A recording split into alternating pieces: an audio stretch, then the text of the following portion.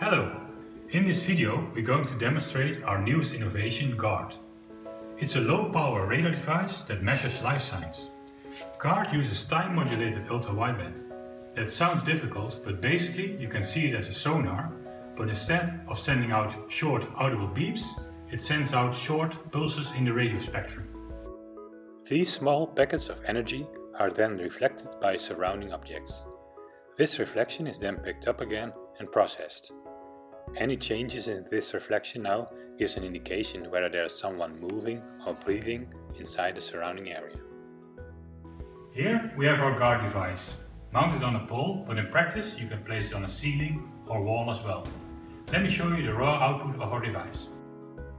On the monitor you see the real-time graph showing the change in reflected energy. Notice that I'm detected when I walk into the coverage area.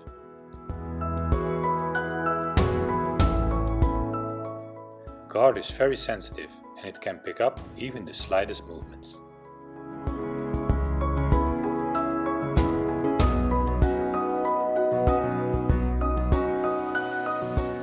One of the more interesting applications is detecting breathing patterns while sleeping.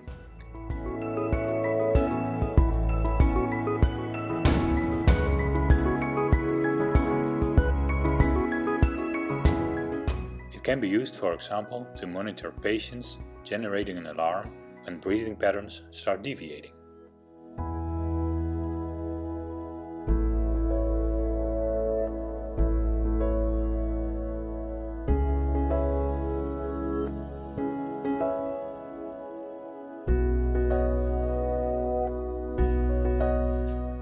The benefits of GUARD are that it's unobtrusive there is no camera and as such everyone's privacy is guaranteed.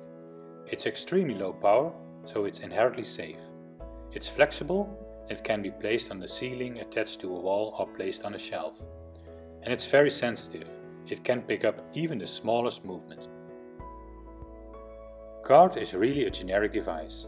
It can be used for security, monitoring residents of nursing homes, detecting sleeping patterns in incubator babies, or as a warning device for caretakers of epileptic patients.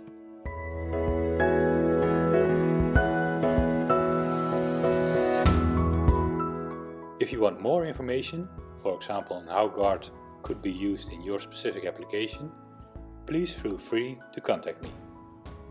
Thank you for watching.